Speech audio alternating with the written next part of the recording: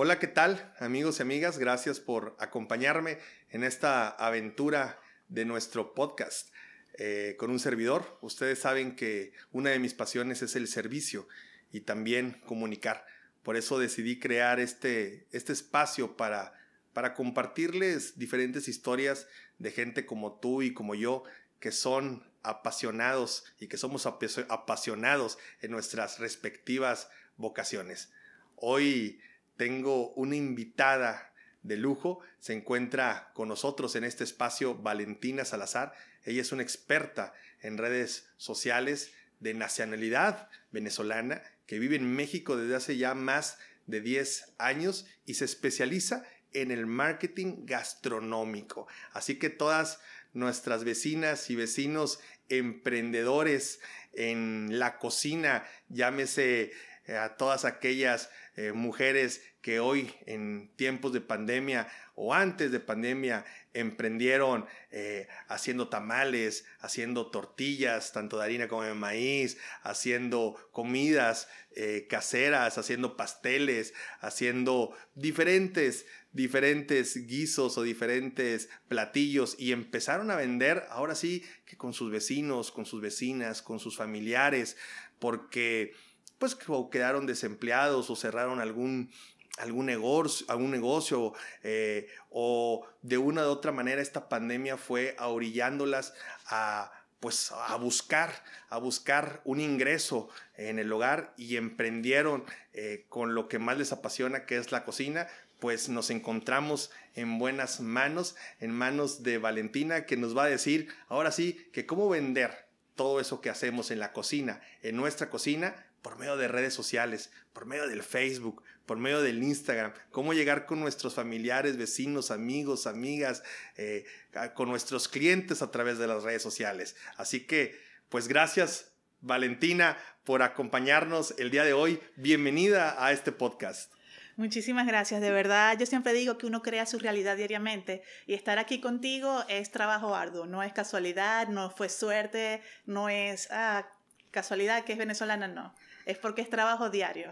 Santa Catarina te recibe con los brazos, con los brazos abiertos y muchas mujeres emprendedoras en Santa Catarina que les gusta cocinar y tuvieron que emprender en su mayor pasión que es la cocina y empezar a vender diferentes platillos, como te dije en un principio, a sus vecinos, a sus vecinas, amigos, amigas, empezaron haciendo pasteles, tamalitos, eh, ahora sí que muchos platillos, pues ya, ya es un negocio para ellas, ya es un autoempleo para ellas, ya es un ingreso para, para su hogar y de ese ingreso pues ya vive a lo mejor papá, hijos, hijas y se pagan gastos básicos. ¿Cómo crecer en, en, en, ese negocio a través de las redes sociales? ¿Cómo vender a través del Facebook, del Instagram, de toda esta era digital que estamos viviendo? Ahora sí que, pero primero Valentina, quiero ya, digo, voy muy a prisa porque quiero compartir con, todos, con todos mis vecinos y vecinas, con toda mi gente, quiero compartir todo lo que tú haces, pero ¿de dónde viene tu pasión? Ahora sí que por el marketing gastronómico, por comunicar lo que un emprendedor claro. vende desde su cocina y a través de las redes sociales. Sí, fíjate que de verdad todo inició porque yo vendía accesorios para celulares. Estaba en un sótano, no tenía ventanas y le creó todas las redes sociales. Y empecé a vender muy bien por redes sociales. Pero luego pasa el tiempo, yo siempre he dicho que la mejor inversión es cuando uno lo hace a uno mismo y empecé a estudiar y a estudiar y a estudiar. Y uno de mis mentores, él decía que el éxito está en especializarse en un nicho. Y fue cuando me di cuenta que yo conectaba mucho con las personas que tienen negocios de comida. Así una persona que cocina y tiene su emprendimiento, así sea desde casa, le brillan los ojos cuando comparte qué hace. Si hace tortillas, si hace pasteles, le brillan los ojos. Entonces yo ahí sentí una conexión. La comida es un elemento vital pero para ti, ¿cuáles fueron ahora sí que esos primeros encuentros con la comida? Quizá tu infancia, que te ligaron a lo que ahora es tu profesión o a lo como, o como tú dices ahorita, ¿no? Así conectaste con la comida, pero en tu infancia te, te, gustaba hacer de comer, estabas en la cocina, a lo mejor ya vendías pasteles hay en tu cuadra? O... La verdad, he cocinado muy mal, pero a mí me encantaba ver a mi mamá cocinar. Me acuerdo también que eh, mi familia es de una isla que se llama Margarita, de un pueblito. Entonces yo siempre que iba, mi abuela hacía las arepas y pescado y yo me conectaba con esa emoción de lo que sienten las personas cuando cocinan. ¿Cuál es el éxito de una, de una persona que, que le gusta cocinar? Que, quiere vender eso que cocina, ya sea su pastel, ya sea eh, su platillo eh, gastronómico, ya sea comidas caseras, ya sea tortillas, ya sea...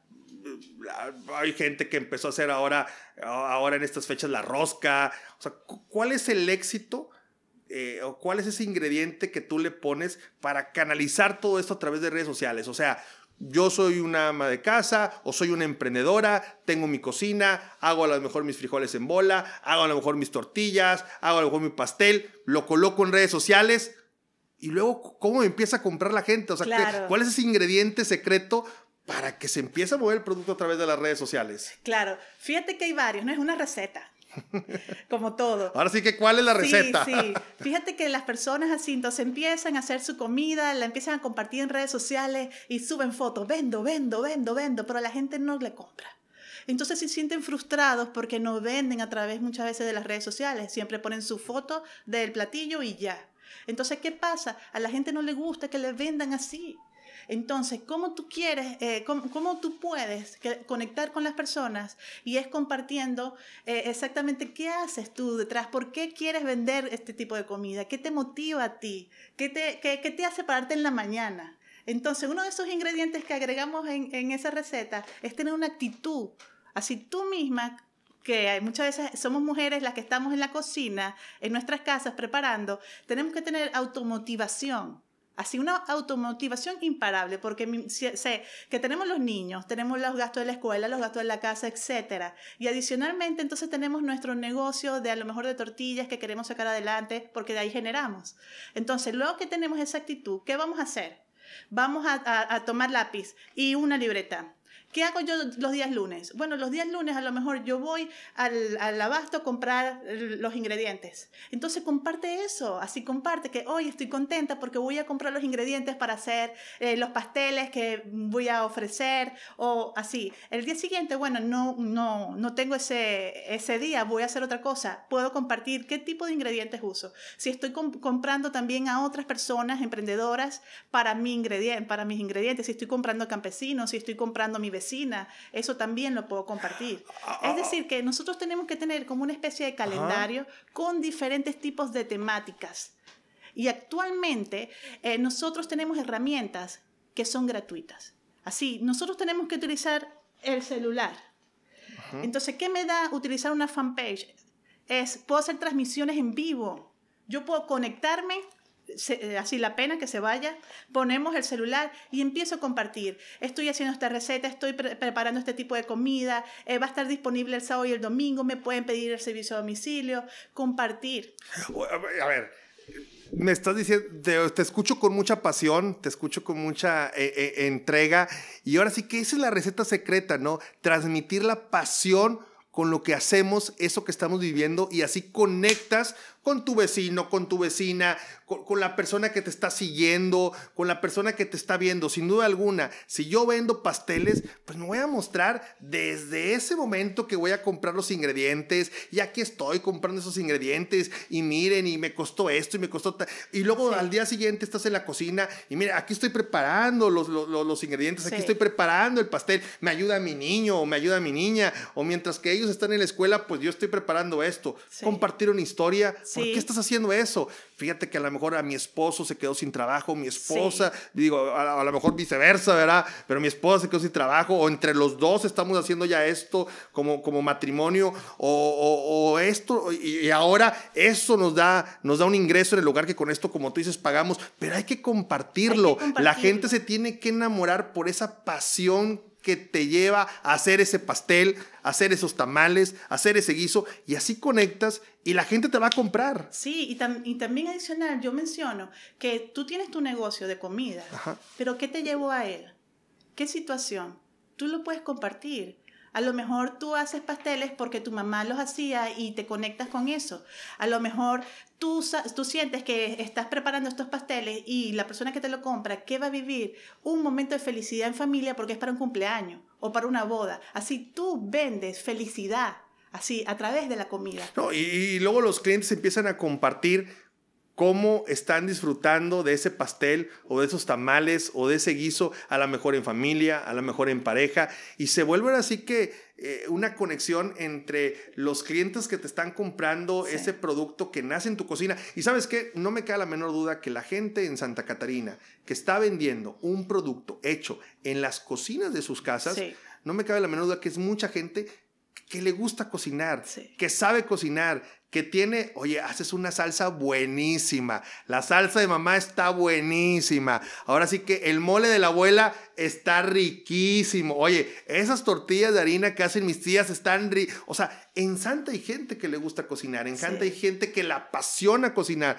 en Santa hay gente que ahora con esta pandemia, con o sin pandemia, pero ahora más con pandemia, pues dice, pues voy a aprovechar ese talento, voy a vender esto y pone el producto en redes sociales y se enfrenta a, se me vendió uno, se me vendió dos.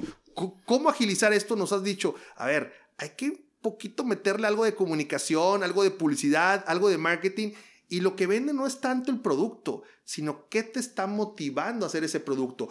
¿Cuál es ese proceso para hacer ese producto? ¿Cómo disfrutas haciendo ese producto? Y a ver, esa es la pasión de nuestras, de nuestras emprendedoras santacatarinenses. Pero ¿cuál fue tu pasión por hoy estar aquí sentado con nosotros, por hoy estar aquí en México? O sea, ¿qué te motivó a ti salir de Venezuela, llegar aquí en México, emprender ahora este coaching o este entrenamiento que le das a todas aquellas mujeres o a todas aquellas eh, personas que emprenden este, algún producto gastronómico y que lo venden a través de redes sociales. Hablo de fonditas, hablo de taquerías, hablo de restaurantes o hablo de emprendedoras que están desde casa este, cocinando y vendiendo a través de redes sociales. ¿Qué te motivó a dar ese primer paso de Venezuela a México y de México a emprender en la gastronomía y ayudarles a todos aquellos emprendedores de gastronomía a vender a través de redes sociales?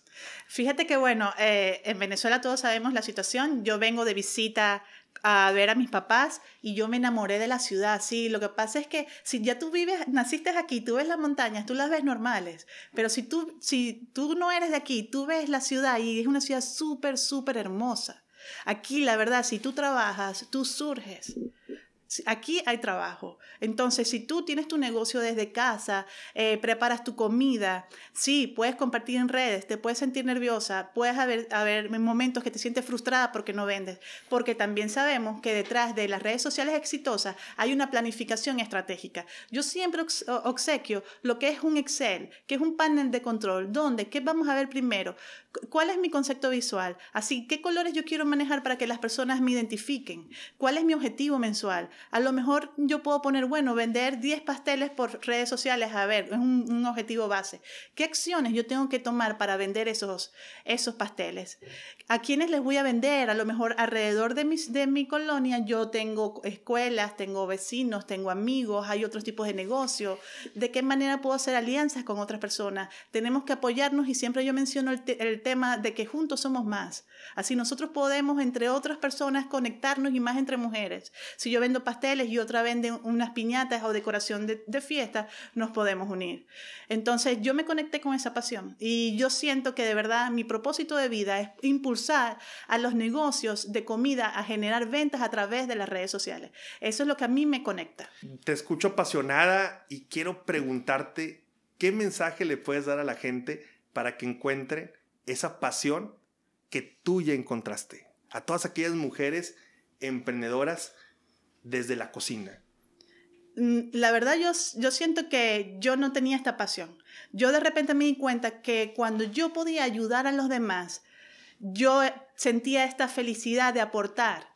Entonces, busca dentro de ti, si tú, en el tipo de negocio que tú haces, qué es lo que te hace feliz Si a ti te hace feliz hacer comida, venderla, entonces impulsa cada día. Si cada día tú tienes que tener tu automotivación, trabajar en tu autoestima como mujer, en el caso de las mujeres, trabajar en tu autoestima para salir adelante. Y eso, cuando tú trabajas en ti, tú trabajas en, crear tu comida, tú trabajas en vender sin pena. Así yo, a mí nunca se me quita el miedo. Así unos minutos antes yo le escribí a Vero, que es mi hermana, mi mejor amiga, Vero, tengo miedo. El miedo no se va. El miedo no se va a ir cuando tú hagas tu primera transmisión en vivo en Facebook para vender tus pasteles o la comida que, tengas. Entonces, siempre vamos a trabajar con el miedo al lado y siempre trabajar, en el caso de mujer y hasta de hombre, en nuestra autoestima para poder salir adelante. Ya nos diste muchos consejos, ya nos diste muchos tips, ya nos diste muchas recomendaciones y para ir concluyendo este podcast, tres tips. Concluyeme en tres tips para que se queden con esos tres tips las mujeres emprendedoras desde la cocina en Santa Catarina y que empiecen a vender esos productos que hacen en la cocina apasionadamente a través de redes sociales. Tres tips con el cual ella se quede.